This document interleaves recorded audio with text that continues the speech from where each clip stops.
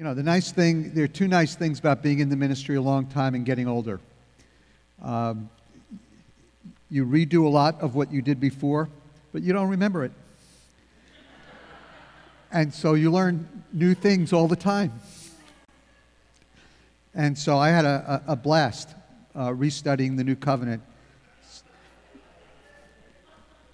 And my guess is if I had a video of 25 years ago, a sermon of me preaching on the New Covenant, it would be the same.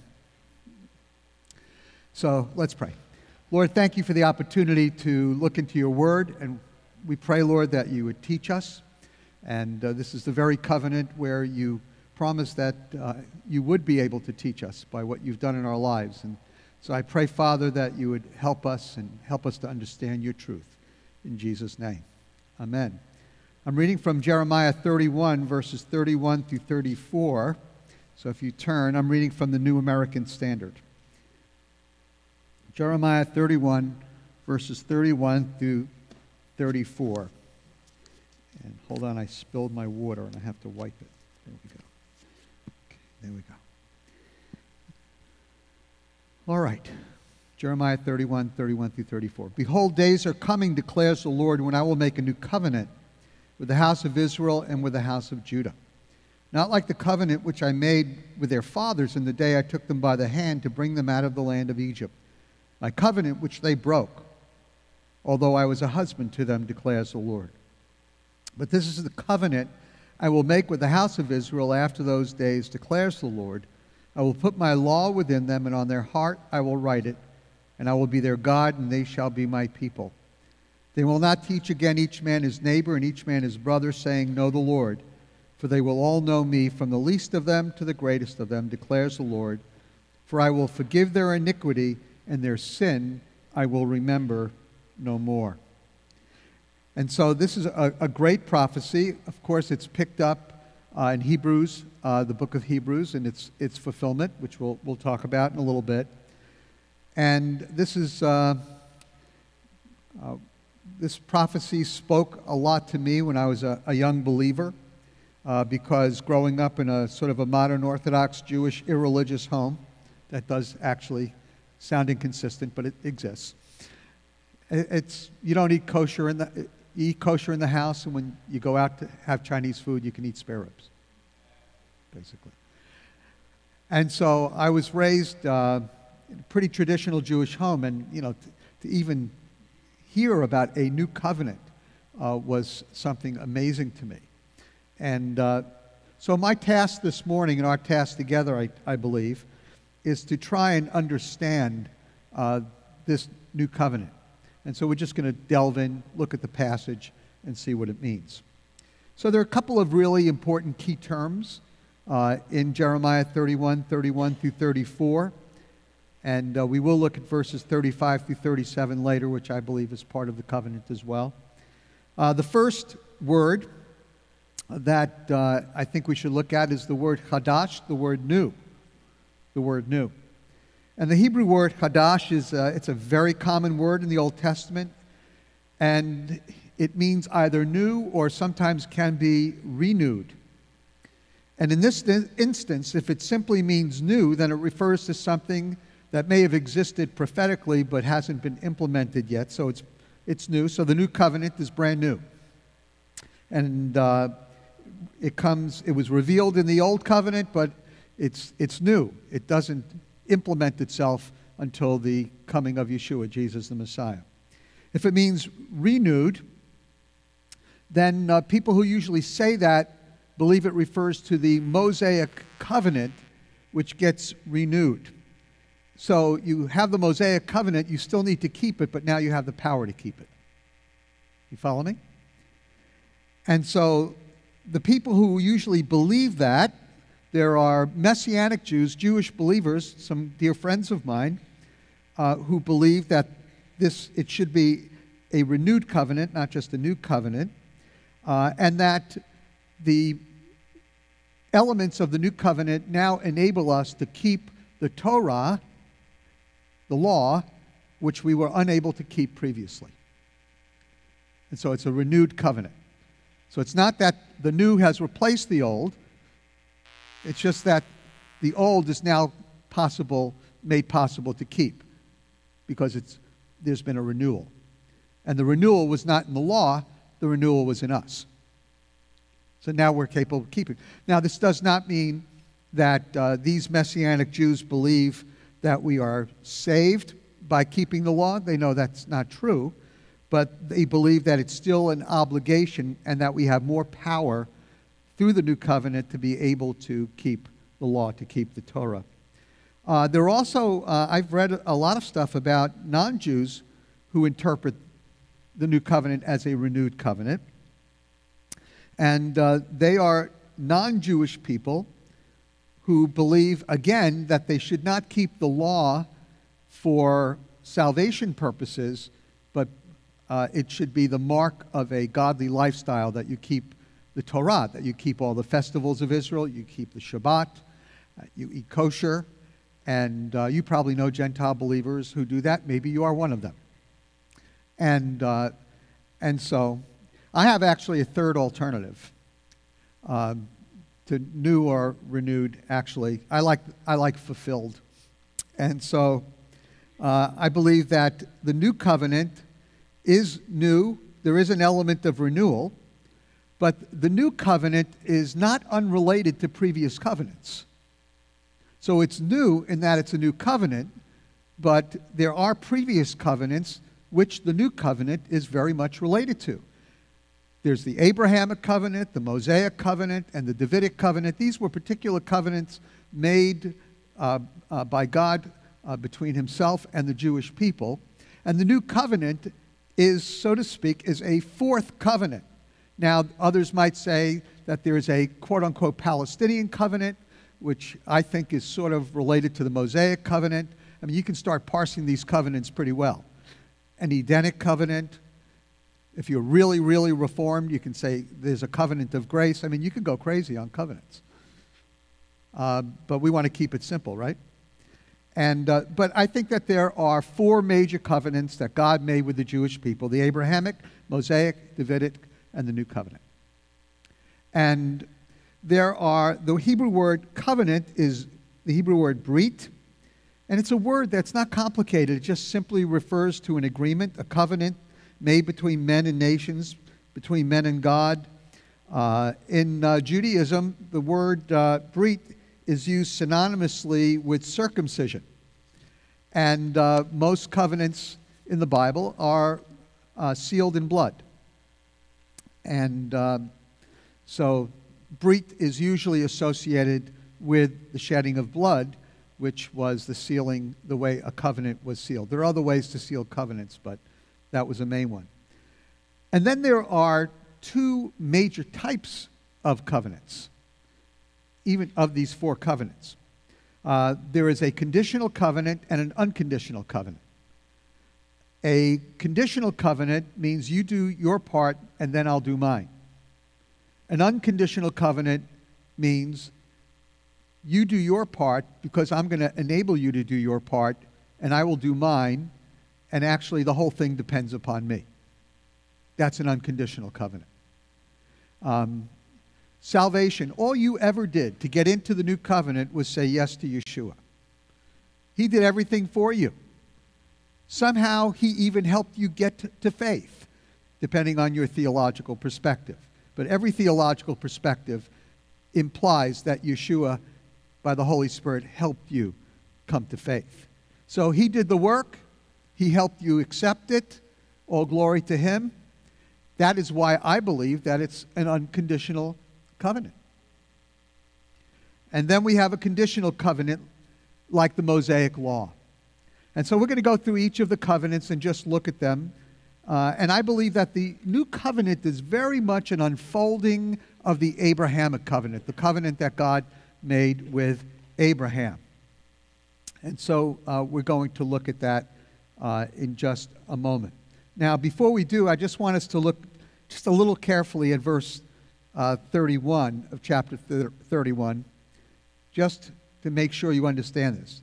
Days are coming when I will make a new covenant with the house of Israel and with the house of Judah. But look at verse 32. Not like the covenant which I made with their fathers in the day I took them out by the hand to bring them out of the land of Egypt, of Egypt. My covenant which they broke, although I was a husband to them. So whether you're on the new side or renewal side, you know it's not the same. Something is markedly different between the Mosaic covenant, which is what this verse is referring to, and the new covenant. And so I believe that the new covenant is probably in some ways more related to the Abrahamic covenant than it is to the Mosaic covenant, but just to show you, they are distinctive covenants. They're distinct. Uh, so let's go back to the Abrahamic covenant just for a moment. And you find that in Genesis chapter 12, verses 1 through 3. Genesis 12, 1 through 3. Now the Lord said to Abram, Go forth from your country, from your relatives, and from your father's house to the land which I will show you, and I will make you a great nation, and I will bless you. I will make your name great, and so you shall be a blessing. And I'll bless those who bless you, and the one who curses you I will curse, and in you all the families of the earth will be blessed. Most people who come to a chosen people conference know that passage by heart. Okay? And so I know that you're familiar with that. So quiz is that a conditional covenant or an unconditional covenant? Unconditional covenant. Okay. So you've been well trained. So uh, it's an unconditional covenant because God takes the responsibility for the implementation of the covenant. It rests upon God. If you remember in Genesis uh, chapter 15, uh, Abram had a, uh, a, vision, and uh, in that vision, uh, the animals were split into, laid uh, along the side from one another, and then a pot and a torch, implying the presence of God, passed through the animals, implying, number one, that the covenant was sealed with blood because of the cut animals, and number two, Abram was asleep. He wasn't there. And so, who took responsibility for the empowering and enacting of the covenant? God Himself. And so that is why I would say that the Abrahamic covenant is an unconditional covenant. There's other language in Scripture which implies that uh, Abram may have had to exercise faith to enjoy the benefits of the covenant. And, and I have no problem with that. I just believe that it's God who brings the faith. So God takes responsibility for the Abrahamic covenant, but God did not take responsibility for the Mosaic covenant in that if you did not obey, you were judged. And if you did obey, then you were blessed. There's no such language in the Abrahamic covenant. God simply says, I'm going to do it. I mean, if there was any covenant, I wish I could have uh, been there when the person found out about it. It was the Abrahamic covenant. I mean, you know the old story about Abram that uh, his father Terah was an idolatrous priest, and he actually owned a, uh, he was a small businessman uh, he owned a uh, woodworking shop where they made idols. You know that story? So it's, just, it's a Talmudic story. So, um, how many of you know the story? Okay.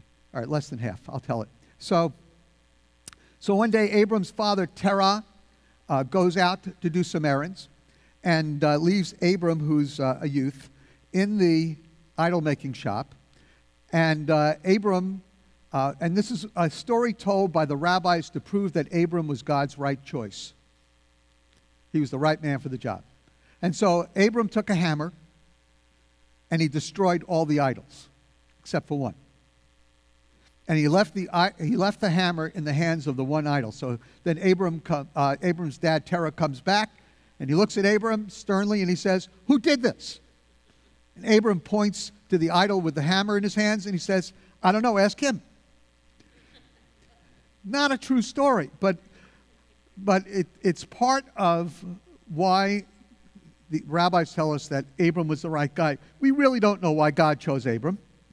All we know from Genesis chapter 11, if you scoot that back to Genesis chapter 9, is that Abram was a descendant of Shem, and Shem was the one through whom the promised line of redemption, which began in Genesis 3.15, that's how we know that whoever was going to be that person uh, who was chosen would be a Shemite, drop the H, a Semite.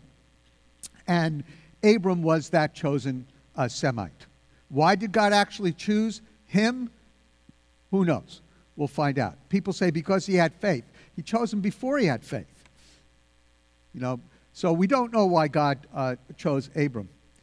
But anyway, I, I wish I could have been there when God told Abram what was going to happen. Uh, that would have been amazing. Wouldn't you have liked to have been there? But where I really would have liked to have been was I would have liked to have been there when Abram told Sarah. That would have been worth being a fly on the wall. So here's my sanctified or sometimes unsanctified imagination. So God tells Abram all these wonderful things. Uh, I'm going to make you a great nation, a land, all these wonderful promises. And a lot of people are going to be called Abram, Abraham. Any Abrahams here? Well, it's not as popular these days. Okay. And so here's, here's what my thinking is. So Abram uh, went back home, and it was the end of the week, I imagine. So it's Shabbat, before Shabbat was necessarily revealed. And so Abram uh, opens the door and, and uh, smells a wonderful meal, uh, chicken soup and falafel, you know, all, all being made. And uh, Abram walks in, and Sarah looks at Abram and uh, says what every wife says when her husband comes home from work. So, how was your day? Exactly what we want to talk about when we get back home. Of course, now the shoe's on the other foot often. And so men remember that. And so Abram says, You know, Sarah, funny you should ask. Something amazing happened today. Sarah perks up, says, Finally, he's going to talk about his work. Wow. And so they sit down, they light the candles, she brings out the soup, and she says, So what happened? He says, Sarah, I spoke to God today. Sarah said, Wow, really? Which one? And Abram says, You can't see him. You would never recognize him. Abram, and so Sarah says, You're speaking to gods you can't see? Already she's suspicious. And uh, then Sarah says, she's playing along. She says, so, and they've already had two cups of Manischewitz. So, so Sarah says, says, so what did he say to you? And Abram said, he said, we're moving. And Sarah said, where are we going? He said, I don't know. Sarah says, Did you get a job change? Abram said, No. We're supposed to leave everything behind except Lot. oh no, Lot?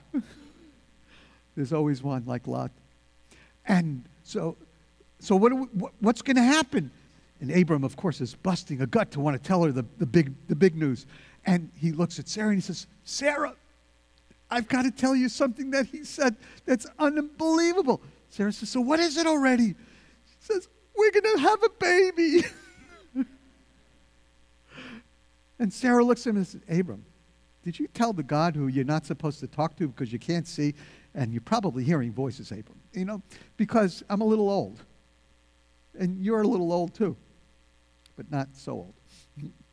And so, how is it possible that I'm going to have a baby? And Abram said, I don't know. I don't know, but he sounded so convincing. of course, Sarah said, Eat your soup, you're drunk, you know.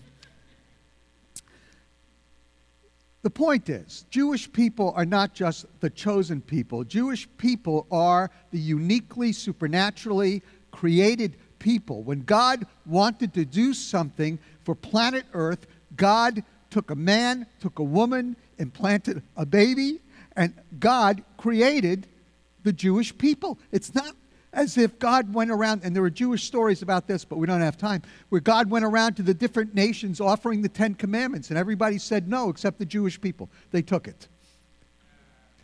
And, and, and that's the impression sometimes we have of Jewish people being the chosen people. Jewish people were not the chosen people, we weren't even the choosing people. The Jewish people were created from scratch by God in a supernatural act. When God wanted to do something and actually to build a bridge of redemption to a broken wall uh, world, he picked a people and created a nation. That's what he did. He picked a, he picked a couple. And so this is what I mean that the Jewish people uh, are a supernatural people. Uh, You know, it's interesting, Mark Twain recognized that he wrote in Harper's Bazaar uh, in 1898, I think. He said, If statistics are right, the Jews constitute but 1% of the human race. It suggests a nebulous, dim puff of stardust lost in the blaze of the Milky Way.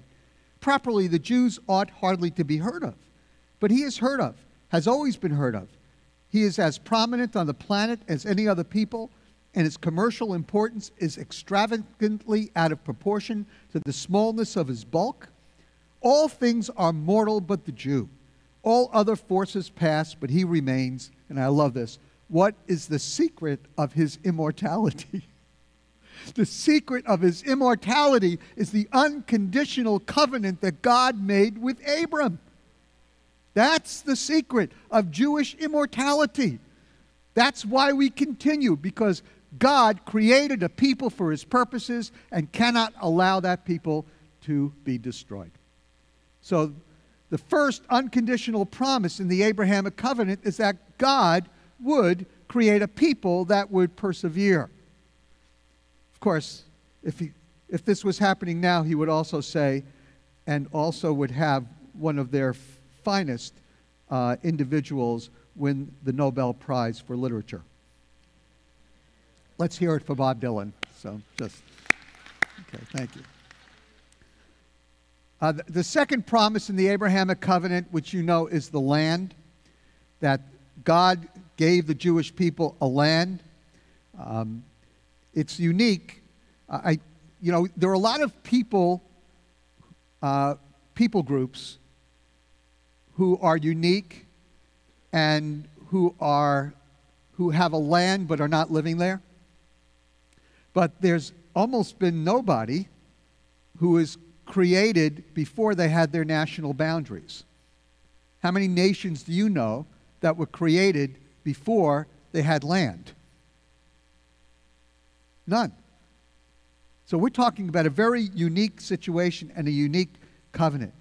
So Israel had no existence prior to the Abrahamic covenant and would have had no existence outside of the direct intervention of the one who created the heavens and the earth. And the promise of the land and the covenant passes through the physical descendants. Genesis 17 7. I will establish my covenant between me and you and your seed after you throughout their generations for an everlasting covenant in order to be your God and your seeds, God after you.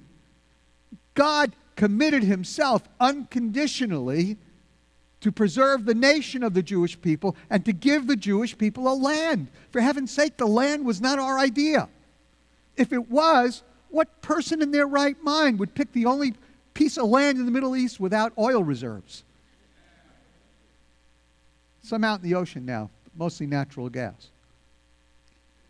The third promise, which is sort of implied in the Abrahamic covenant, is the idea is the fact that Israel would be in a right relationship with its king, with God. The idea that Israel can only be all God wants her to be when the Jewish people are, are in a right relationship with God is implied in the Abrahamic covenant.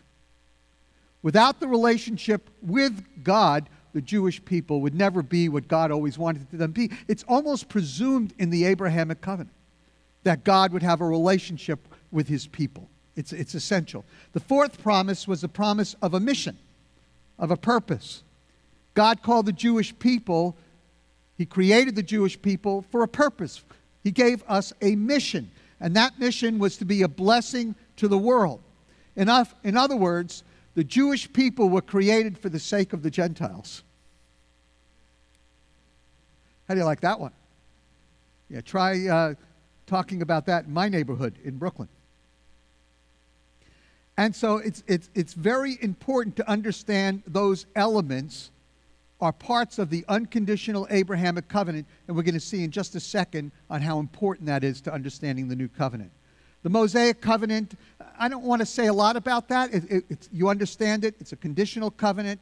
I hope you don't equate the Torah or the, uh, with the uh, Mosaic covenant, though. Uh, the Torah and the Mosaic covenant, the Torah, which usually means the five books of Moses, Moses is not just laws, right? you know, the rabbis say there are 613 laws in the, uh, in, as part of the law, as part of the Torah. Uh, I, have never counted, but uh, some of them are traditional, some of them are, are biblical, some are uh, laws of omission, some are laws of commission, and so on. But if you read the five books of Moses, you'll find a lot of stories, a lot of narrative, a lot of promises, a lot of prophecy. You find a lot of uh, interesting relationships. You know, you find uh, uh, creation. You know, you find a lot in the five books of Moses. But the law or the Torah, the Mosaic covenant, was that which was given at Mount Sinai. It began in Exodus 19 and continued forward. It is the legal corpus by which God governs the Jewish people. Got that? That's the Mosaic covenant. And a lot of you know from your studies about ancient Semitic treaties, suzerain treaties between a vassal and a slave. Do you know about all this? And, and some people use that motif to understand the Mosaic covenant. I think it's pretty valid. And so you had a uh, vassal, uh, which is Israel. You had a, uh, a lord, which is God. And you had the rules of the kingdom, which is the uh, Mosaic covenant. And it always implied blessings and curses blessings for obedience, curses for uh, uh, disobedience. And that, it, there's probably a lot of truth to that. That is a form, in an ancient Semitic form for the Mosaic covenant. But it was definitely conditional.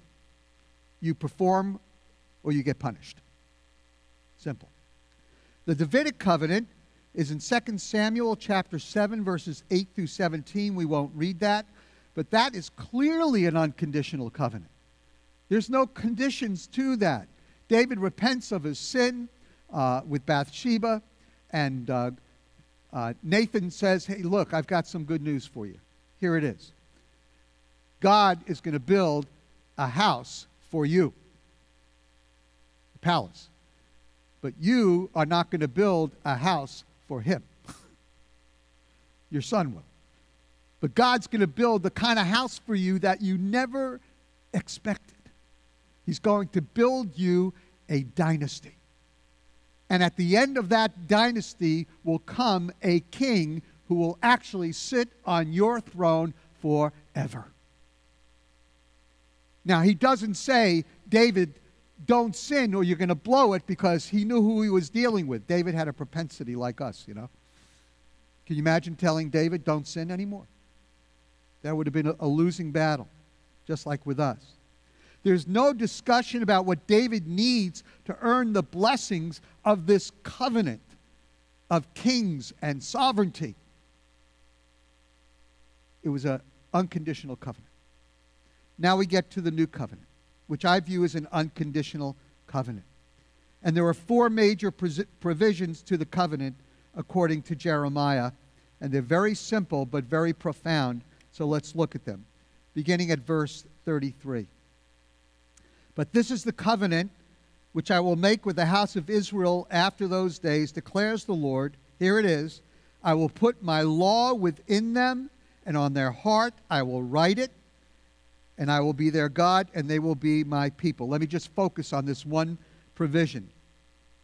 God promised the Jewish people that one day the law which was on tablets would be internalized within their very soul so that when they wanted to do the will of God, they would do it almost naturally without looking outside of themselves. God would implant His law on their hearts, on their souls. I remember when I was first saved, and I didn't really have time to read the whole Bible yet. And uh, you know, I, every one of us have a different experience. And uh, so I woke up in the morning and uh, I didn't know what, would, what was next. Uh, number one, I expected to wake up as non Jewish. Funny thing, woke up, felt as Jewish as I did when I went to sleep. But then something really strange happened. Um, you, you know, typical testimony. I mean, Mike Brown can give his testimony. I can give my testimony. I mean, uh, testimonies like me, mine are a dime a dozen. You know, I'm Jewish. I wasn't that religious. I rebelled. I, I did drugs. I sold drugs. I got saved, and I don't do them anymore. It's not a bad testimony. Well, I'm hoping it works out. It's been about 45, 46 years for me, too. And so I woke up in the morning, and lo and behold, Romans chapter 7, which I hadn't really read yet, became true in my life and my experience. That which I hated, I didn't want to, that which I hated, I now loved. That which, it was amazing. Now, I still had the other problem in Romans 7, and that was I couldn't always do what I wanted to do. But I wanted to do it, which was definitely a change. definitely a change. For me, the law was not written on stones, but it was, you know, in, the, in that really beautiful uh, ark in the front of my shul, in the front of my synagogue. But now it had come from behind the curtain in the, in the ark in the synagogue and it had been implanted on my soul. And even though I couldn't always do it, I knew I wanted to do it. I wanted to live for God, and I still do, and so do you. There are other elements because sin still dwells in us that keeps us from doing the will of God. But I had changed dramatically. I now wanted to do the will of God. And so do you. On the day of Pentecost, God sent his the substitution for his son, who was divine, the Holy Spirit, the Ruach HaKodesh, and the Ruach HaKodesh filled these er, Jewish believers waiting for the promise of the Father, just like his presence and his person fills you. And I believe that this is a little bit of a metaphor and that he didn't actually write the law on our hearts, I mean, these days we can actually, you know, get a, uh, you know, probably get an x ray or a CAT scan and see if it's there. You can't see with human eyes what God did to your soul. God put His Spirit in your life, driving you, causing you to do what you didn't want to do before, what you couldn't even understand before the will of God. It's not, in fact, it hasn't removed the need for a Bible because now, because of the Spirit of God in our lives, we can finally understand what's in this book. Our eyes have been opened by the presence of the Holy Spirit within our souls. And it has radically transformed my life. And I know it's transformed yours. Secondly, verse 34 For I will forgive their iniquity and their sins I will remember no more. This was instituted at the Last Supper, it was sealed at the cross, and it applies to both Jews and Gentiles who believe in Yeshua and also has a future national fulfillment in store for the nation of Israel when the nation turns to the one whom they have pierced. And according to Zechariah, uh, fountains are opened up for the forgiveness of sin. I believe those fountains, I believe like the hymnist, hymn, the hymn writer, that uh, there's a fountain filled with blood drawn from Emmanuel's veins. I think that, that was a great interpretation of, the, of Zechariah uh, 13, 1. And so you and I have experienced forgiveness of sin. As far as the east is from the west, once and for all, for all sin, for all time, you and I have been forgiven. Jews and Gentiles, this applies to all of us. We have been forgiven of our sins. So, you know, I don't know about you, but this is pretty good. And so, God has written His law of, uh, on our souls, which transforms us. And if you don't believe me, ask Gordon Tyner back there. He knew me. Okay? And if you want to know about him, I can tell you also. Okay. So the Lord has put himself into our lives and we are transformed. And he has made us, well, as pure as we can possibly be right now to be the home of the Holy Spirit. He has forgiven our sins. And that makes all the difference in the world. We've just gone through Rosh Hashanah and Yom Kippur on our way to Sukkot. And all we were talking about, very sober time, was uh, was repentance and atonement and our sin. And oh my gosh, I don't know what I would do without Yeshua, without knowing, because it was, it was one thing for me when I didn't know my sin. It was one thing when I had no concept of the glory of God and I just compared myself to all the poor schleps who were my friends. And I knew that I was much better morally and ethically than them, except Gordon. I mean, I never ripped anybody off selling drugs. I was an honest degenerate.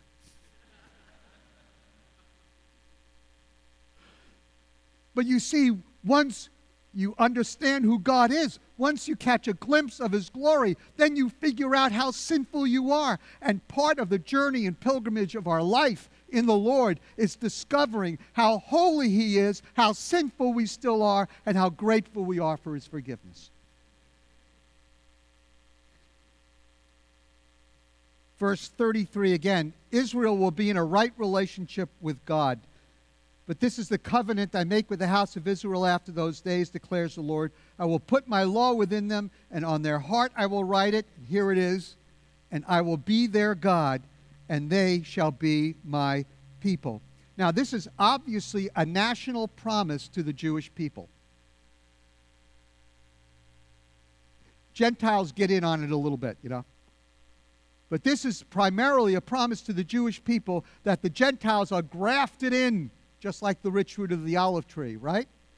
And so we experience some of this in part, just like Mike said last night. But we're looking forward to the day when we'll get the whole enchilada, right? So the day is coming when the Jewish people will finally enjoy the fulfillment of the Abrahamic destiny that God marked on the Jewish people from the very beginning by the promise to Abraham. They will be God's people. The Jewish people will be the people God wants them to be. That day is future.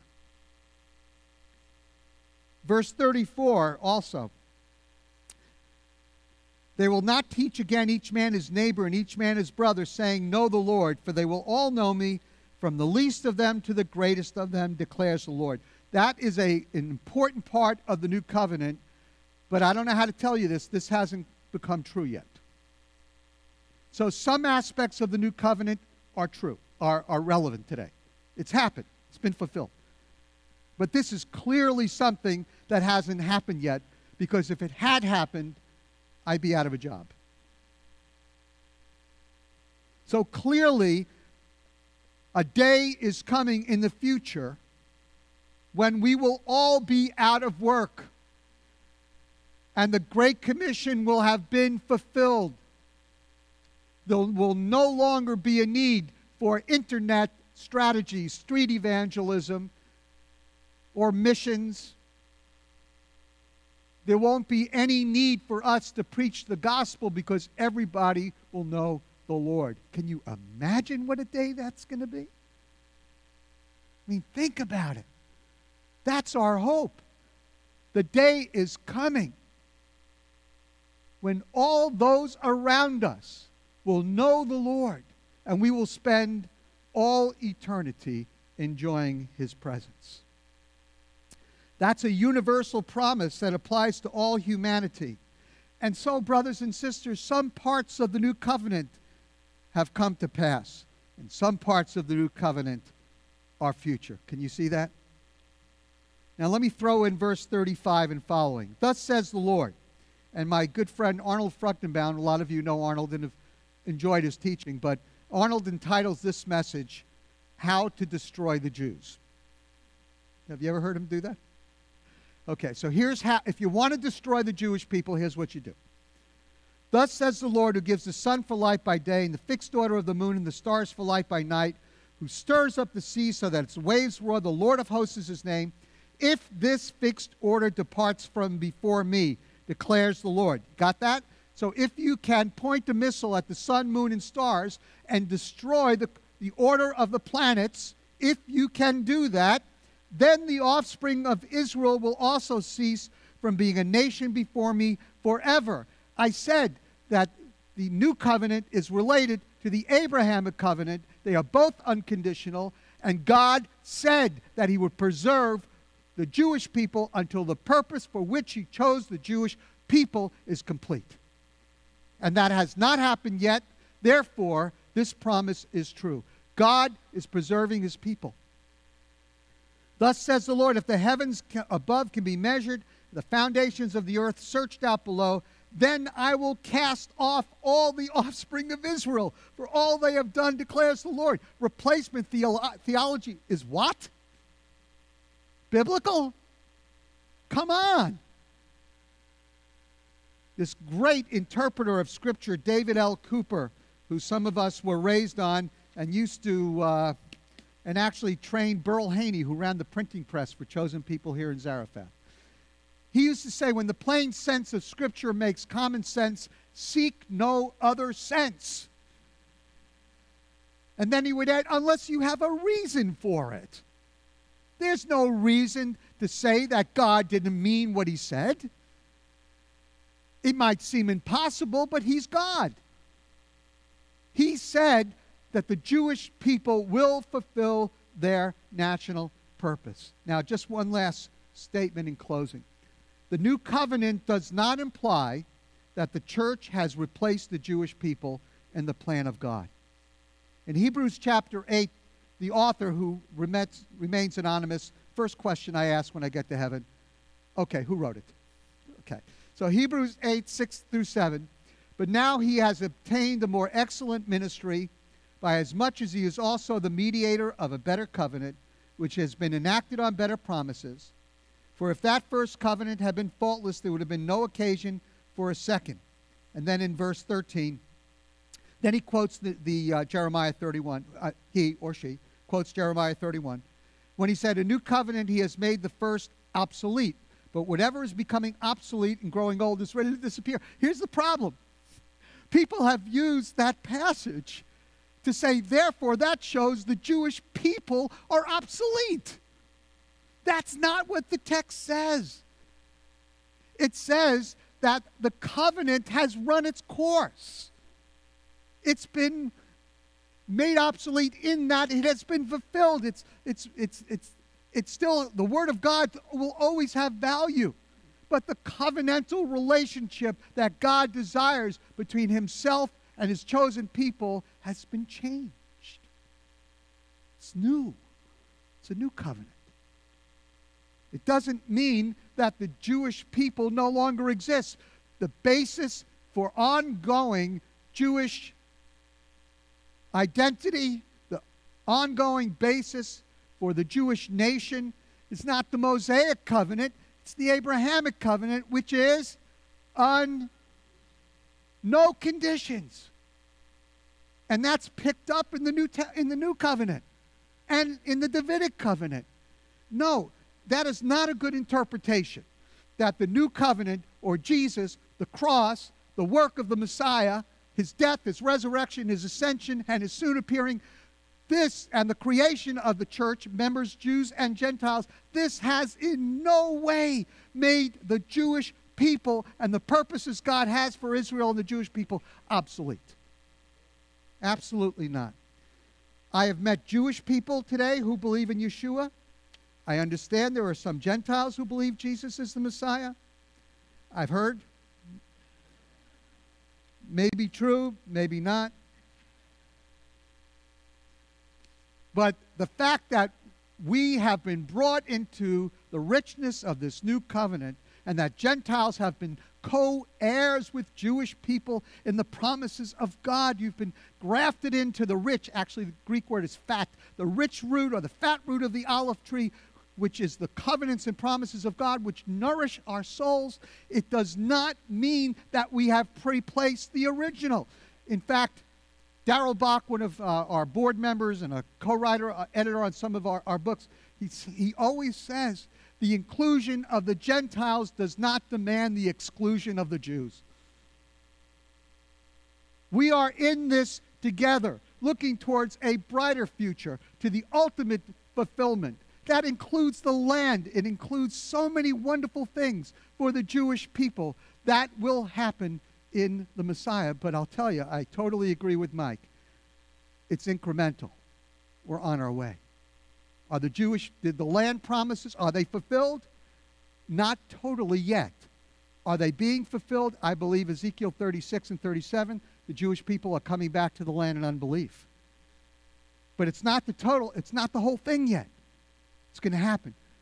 Does everybody know the Lord? Not by a long shot, but a lot of people do. A lot more people after Jesus came than before. So, in part, this is happening in part, but we're headed towards what Joel Rosenberg says a Romans 11:25 future. 26.